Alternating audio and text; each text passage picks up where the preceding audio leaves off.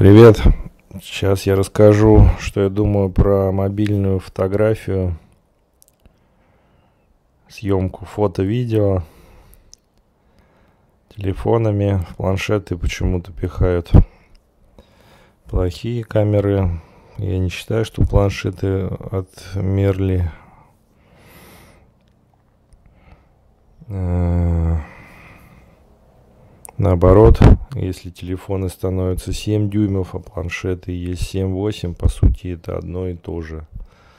Причем даже планшет получше, если 8, экран большой, удобно смотреть какие-то фильмы. Планшеты очень актуальные. Ну, то есть и камера была бы там зашибись, но они даже вспышки не делают. Ну, теперь к камерам. Какой бывает основной модуль?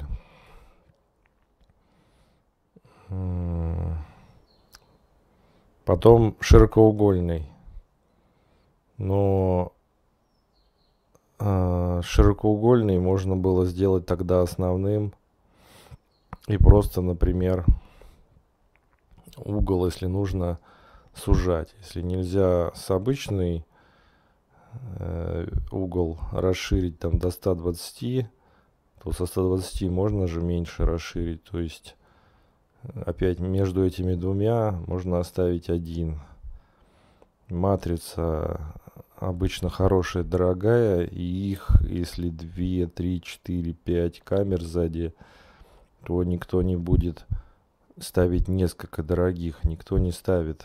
Даже в самые топовые все матрицы дорогие. То есть, по сути, остальные идут плохие. Меняется объектив макро съемка, ну, хорошая идея, но по сути не получается. Э, говорят, люди приближают телефон, он закрывает свет, нифига не видно. А все-таки свет нужен, чтобы снимать. Приближение отличная штука, э, нужно в телефонах. Делают они это, кладут на бок, делают такой перископ – там плюс 2, 3, 5 приближение, 10. Ну вот может быть два объектива только сделать приближение, зум и широкоугольный как основной.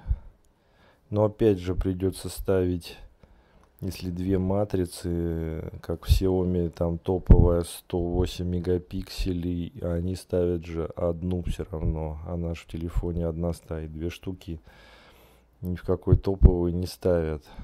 Получается тупик здесь.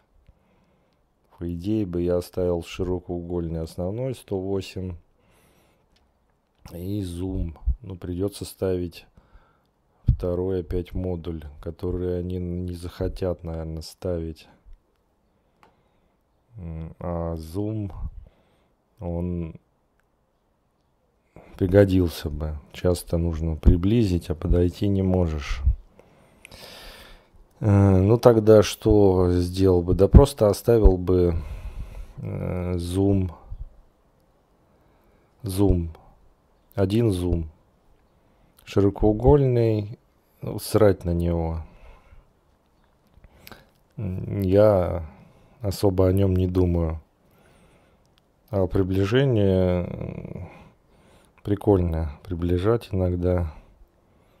То есть можно оставить один хорошую матрицу 108 мегапикселей Xiaomi и зум.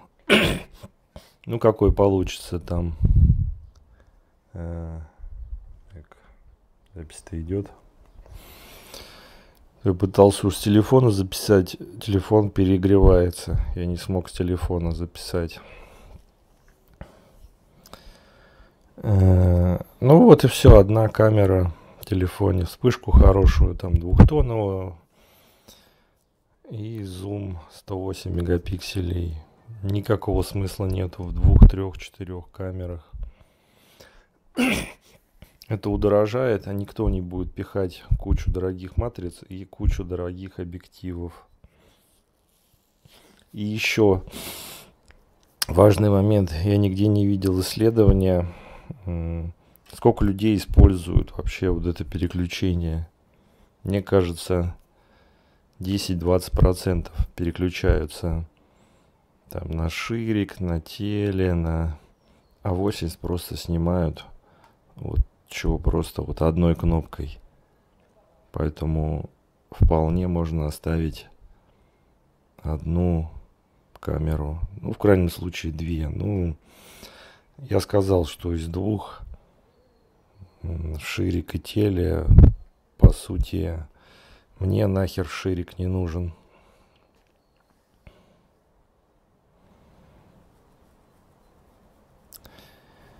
Тем более, может быть, технически можно сделать э, в теле ширик, это же просто ну вот угол широкий, может быть, матрицу теле можно как-то к зеркалам там подвернуть, чтобы был угол, расширить угол, может быть, ее как-то можно будет шевелить, ну, как зум шевелится, и как-то, или может как-то ее перемещать, или как-то вторую, вторую матрицу поставить, чтобы угол расширялся, то есть одновременно теле и ширик совместить, и было бы идеально. Ну, мне, по сути, этот ширик не нужен. Так просто я порассуждал.